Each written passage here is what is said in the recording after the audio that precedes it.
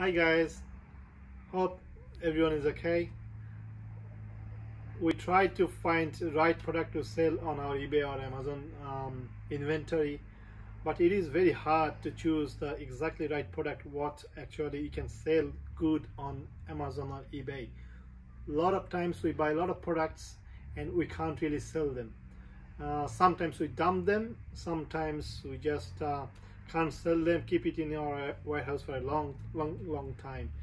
So I would um, try to I'll try to give you some idea which product you can sell on your Amazon or eBay uh, uh, store.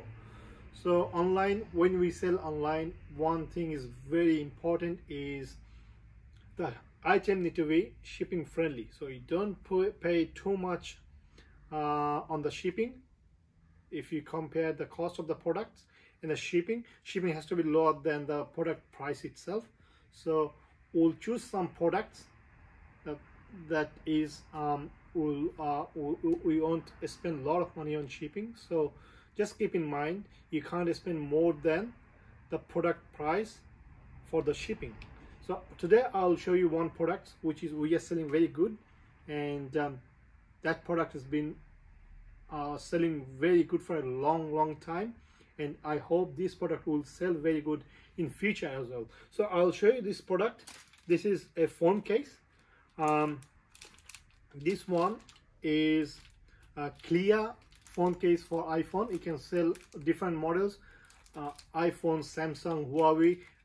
This is called um, TPU bumper case clear HD clear bumper case for um, any phones they can sell. So this inventory we are selling for last five to six years and I hope if you add to your account you will get some sale for this item.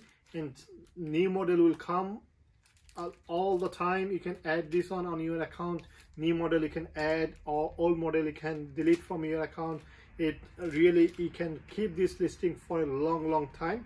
So i would suggest go ahead with this product add to your listing and um, you will get generate some revenues for your online store. Thank you for watching my videos. I hope you'll watch um, um, my next videos and subscribe to our channels. Thank you once again